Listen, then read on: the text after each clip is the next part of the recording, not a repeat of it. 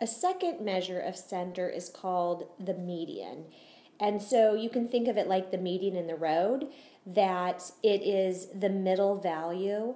But the most important part of a middle value is that it's an ordered set of data. So, for example, if I wanted to find the student who's got the middle height in our room, I can't just go find the person sitting in the middle. I need to have everybody line up by height, then I can find who has the middle height of the room. When it comes to finding the middle and you have an even amount, there's actually no dead center middle. There would be two people who tie.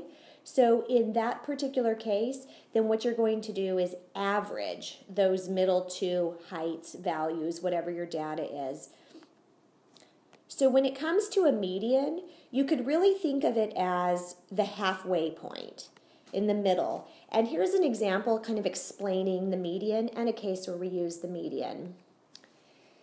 For example, the median home price of a home is $175,000. That means half of all homes cost less and half of all homes cost more. So that middle point divides our data. Now let's go ahead and look at problem two or part two, which is an example. We're asked to compute the median, not the mean. So I've got these three numbers, super small list but it was just to make our life a little bit easier here. Remember, the first thing I need to do is order that list. So in order, it's one, three, five. You probably didn't even need to write it down. You could do that in your head. But now as I go to take the median, I need to go take that middle value, which in this case is a three, and I just get a three for an answer. Now, in this case, when we say half of all numbers are below three and half are above three, technically it's only a third that are below and a third that are above because it's such a small list. But of the numbers that aren't three, half of them are smaller and half of them are larger. Okay, now let's go ahead and look at problem 2b. In problem 2b, I'm asked to find the median. Here it doesn't matter whether it's a population or a sample. Remember, I need to double check that the list is in order. 25 is smaller than 31, which is smaller than 48, which is smaller than 56. Ugh, but 29 is not smaller. So the list was not in order. So I need to reorder it. When I go to reorder it, I have found, so I scan, okay, since 25 is the smallest number, I tend to cross it off so I don't even have to look at it again. Now I've got 29 is the next smallest number. 31, and I just kind of keep this process going as I'm going through the list. You don't have to cross them off, but I always think it's a good idea. Also, I found it's a good idea to count how many numbers were in the list.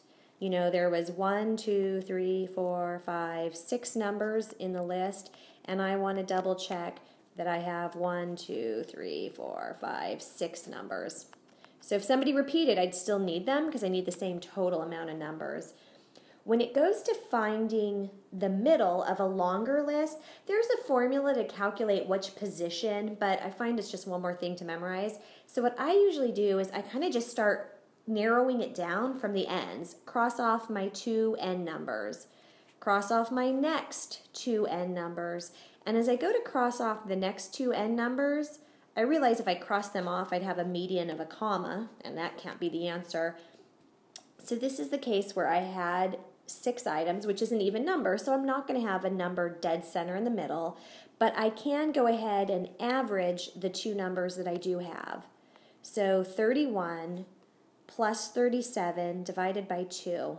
Why am I dividing by 2? Yeah, because there's two numbers in my list. You probably are doing all this on your calculator and just getting the value. There's no decimals, so I don't need to worry about rounding hey, I never gave you the answer up above or got erased.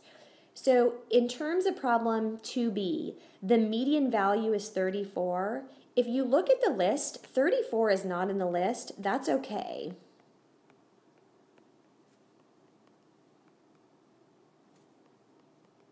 It's fine that 34 is not in the list because if you think of it as some sort of divider point, that right here at 34, yeah, half of all numbers are below it and half of all numbers are above it. So it does calculate to be a true median. Okay, so now let me have you go ahead and show me that you can solve these. So for problem 3A, your missing numbers are 72 and 75. So go ahead and, you know, in a moment, hit pause, calculate it, and then play to check your answer. Did you get 65? If you didn't get 65, were you sure to order them? Were the problem? Here are the steps. I kind of went through. I like to write the numbers under each existing number, so I made sure that I wasn't missing anything, and that's how I got 65. So now let me have you work on part B. 10 and 9 are your missing numbers. And for your answer, did you get, eh, we'll just go over this one in class.